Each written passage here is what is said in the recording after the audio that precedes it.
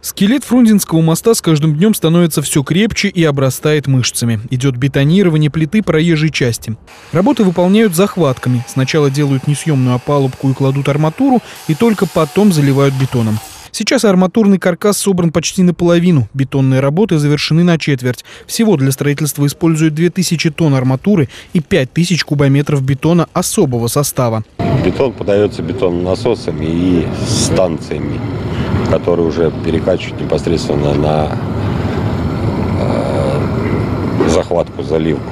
Здесь он идет в хлористых солях, то есть он бы как бы предрасположен на агрессивную среду. Э, реагенты, соли, После завершения процесса бетонирования строители выполнят устройство гидроизоляции и приступят к укладке асфальта на проезжей части.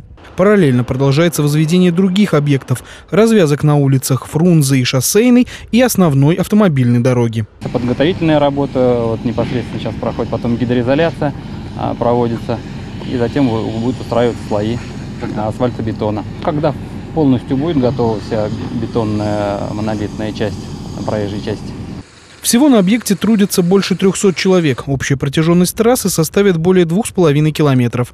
Запустить движение по мосту планируют до конца этого года. Андрей Горгуленко. События.